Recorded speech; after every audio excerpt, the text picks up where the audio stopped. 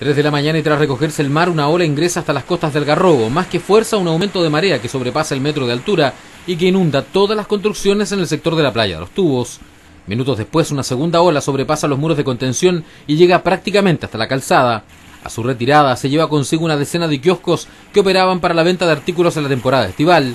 La fuerza de la marea incluso ingresó hasta el restaurante La Caleta de Pescadores de Algarrobo, dejando serios daños al recinto. Referente a algunos compañeros que dio la posibilidad de sacar algunas embarcaciones y otros que no se encontraron en el lugar, tuvieron la, eh, la, posibilidad de dejarlos bien amarrados, pero sufriendo dos, tres volcaciones de embarcación que hoy día están fuera ya de, de los donde se encontraban amarradas y hoy día fueron sacadas y se encuentran las que están hoy día ahí soportaron por lo menos la magnitud de lo que de la ola que se, supuestamente llegó. Los comerciantes del sector lamentaron lo sucedido, pues ni siquiera el terremoto del 27 de febrero del año pasado generó daños en la comuna. En la noche, como a las 3 y media de la mañana, nos llamaron los mismos locatarios que tienen kioscos continuos, ¿cierto? Y nos comentaron de que ya la marea llegaba a la altura del muro.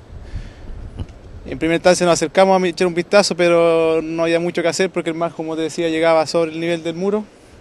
Así que resignarse nomás y esperar hoy día a poder limpiar un poco y ver qué cosas podemos rescatar. El relato de los vecinos da cuenta de la fuerza con que ingresó el mar cuando el reloj marcaba cerca de las 3 de la madrugada. Nosotros teníamos un kiosquito aquí de, de lado para trabajar en la temporada de verano y, y anoche de la mañana, a las 3 de la mañana, el mar lo sacó y se lo llevó. Yo bajé alrededor de las 4.20 de la mañana, de la madrugada, y vi cuando el mar subió y empezaron a hacerse corrientes marinas, lo cual llevó a, a que los kioscos que estaban aquí en la orilla de material ligero empezaran a,